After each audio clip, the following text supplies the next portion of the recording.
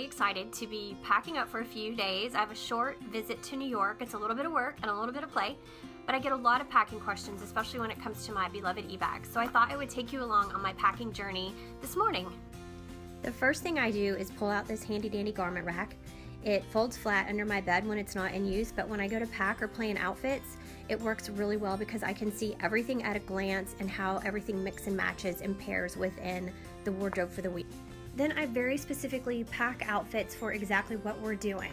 So I have Thursday day, Thursday night, Friday day, Friday night, Saturday, and traveling home. So I'm very specific about what we're doing and what I want to bring so I don't overpack. And then I always throw in a white tee, a long sleeve tee, and a very neutral cardigan. The, those can mix and match over pretty much any outfit that I have. I also make sure that any jacket that I'm bringing can work with many outfits. Next up is the shoes and I curate those fairly carefully so that I'm not, again, overpacking. I don't want to have duplicates, no need to have two pairs of sneakers, so I will pare them down to make sure that I have just what I need and can mix and match. Okay, next up is handbags. Since I am traveling, I like a hands-free crossbody for day, so I will choose between one of these and then one clutch for evening that kind of matches everything I'm doing, and then I will have a good sized tote for my carry-on. The final step for each outfit is jewelry, earrings, necklaces, that sort of thing. And I can be pretty liberal with this because it doesn't take up a lot of room in my suitcase, but at the same time, I don't want to just dump my entire jewelry drawer into a bag. So I kind of will plot out what I think would go with each outfit. Okay, moving on to undergarments, one of the most important steps actually, I will look at each outfit individually and make sure it doesn't require something special like a thong or a strapless bra because the last thing you want is to not be able to wear something when you get there because you don't have the right undergarment. Okay, now that we have all of our outfits planned, everything laid out, all of our toiletries, curling iron, undies, the whole thing, it's time to get it in the bag and that's where these little beauties come into play. So let's get it all in the suitcase. We've got all the clothes, the shoes, pajamas, undies, toiletries, hair tools. We're gonna pack it all up in these little bags and put it in this suitcase. Okay, and there it all is.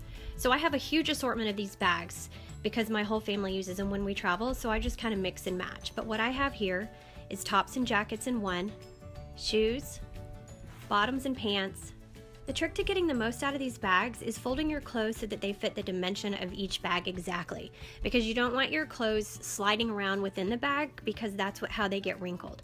So you fold them so they fit without extra space and then everything stays tidy. Some people like to roll, some people fold. It really doesn't matter with these bags. I prefer to fold so that I can quickly, when I get somewhere, you know, go through and find what I'm looking for within the stack. You can also pile things up within the bag really high because they will compact, almost um, compress. The air will come out of the mesh and you can fit so much more even than I have in there.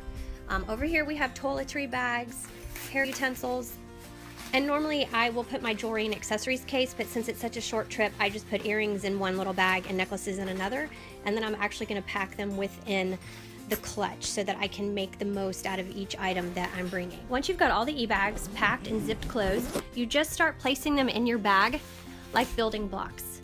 Just filling in all the nooks and crannies and turning them in different directions until you make the most of your suitcase, it really creates so much more space.